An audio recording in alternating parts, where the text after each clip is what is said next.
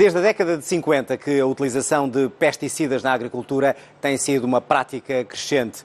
Ultimamente, vários projetos tentam reduzir a utilização de pesticidas para produzir mais sem ferir tanto o ambiente. É isso que está a acontecer no Douro para a produção de uva e também de azeitona. A reportagem é de Inês Pinta Costa e João Agante.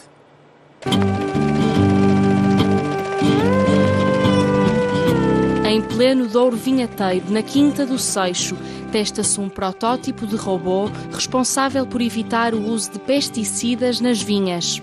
O desenvolvimento deste robô vem da necessidade dos produtores de vinha uh, quererem produzir uma vinha uh, e vinho de uma forma muito mais sustentável e mais amiga do ambiente e que precisam, para esse fim, de ferramentas que lhes permitam fazer a gestão e manutenção do coberto vegetal.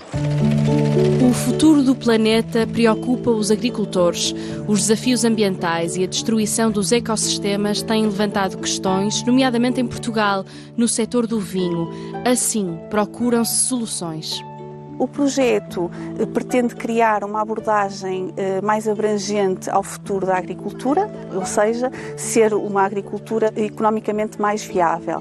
E com isso, com recurso à robótica, à agricultura de precisão, à utilização de novos produtos de proteção de plantas e também de uma gestão mais integrada do solo.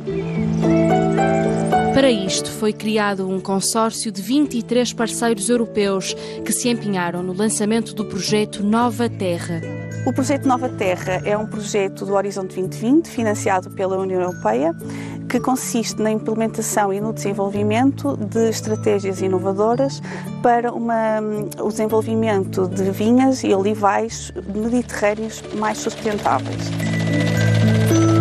Em vez da utilização de pesticidas, aposta-se num corte da vegetação nas entrelinhas das parcelas, que permite manter os nutrientes presentes na terra e levá-los às videiras. Nós estamos a utilizar um corte de uma cobertura vegetal dentro da nossa vinha, em que com esse mesmo corte, nós conseguimos promover a incorporação de nutrientes ao solo, especialmente azoto, e precisamos desse corte porque nós precisamos também que as nossas videiras tenham água e nutrientes necessários para se desenvolver. Estas operações, que são mais laboriosas, e portanto o robô consegue fazer isto de uma forma autónoma, de uma forma mais eficiente e mais amiga do ambiente.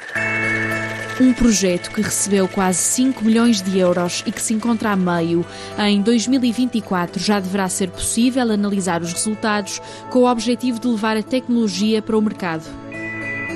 Estamos a trabalhar nas dificuldades máximas. Os nossos grandes desafios também é desafiar o Inesctec a desenvolver e a produzir robôs que tenham capacidade de trabalhar numa viticultura de encosta e que possa ser expandida a outras propriedades.